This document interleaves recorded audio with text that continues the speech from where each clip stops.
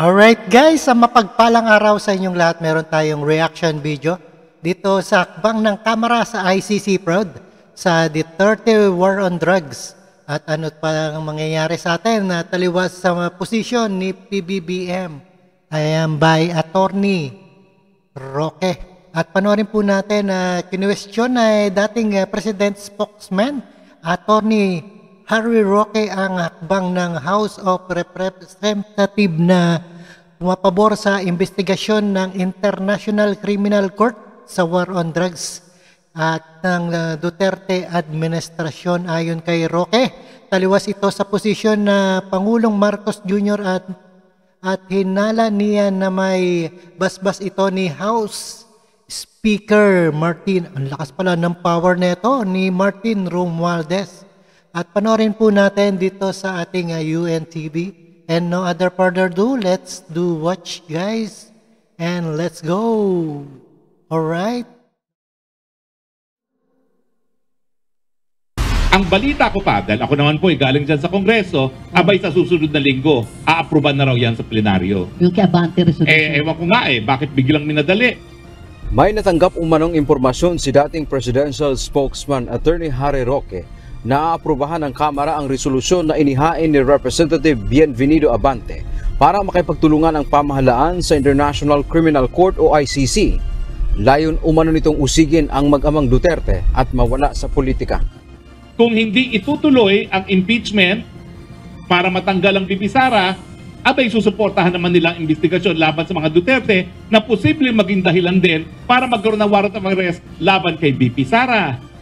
Naniniwala din si Roque na abogado rin ni dating Pangulong Rodrigo Duterte na may basbas ni House Speaker Martin Romualdez ang mga anti-Duterte campaign. Walaan niyang anumang kontrobersiya sa Kamara na walang pahintulot nito. Wala pong nangyayaring kontrobersyal sa House na hindi binibigyan ng basbas ng Speaker. Parang Diyos po talaga ang Speaker sa House, lalong-lalo na kapag budget season.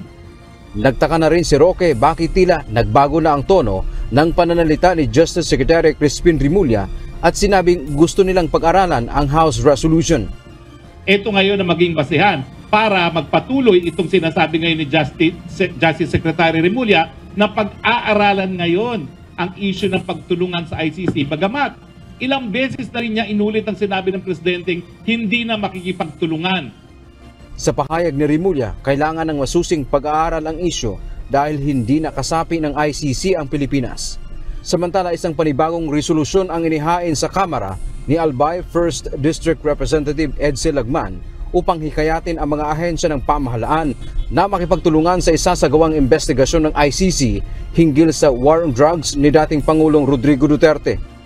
Kaugnay nito, panawagan ni Roque sa mga dati niyang kasamahan sa Kamara na ang dapat nilang pakinggan ay ang Pangulo.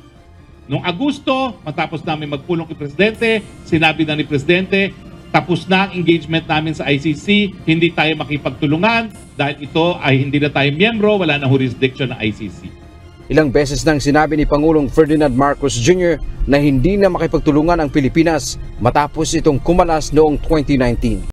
Dante Amento, UNTV, News and Rescue. Alright guys, napakinggan po natin itong uh, balita breaking news dito sa hakbangin ng Kamara na sa ICC at uh, para masuplong yata sa ang ating uh, ah, PB dating President Duterte at kay uh, kay Vice President Sara Duterte. And uh, thank you so much sa inyong lahat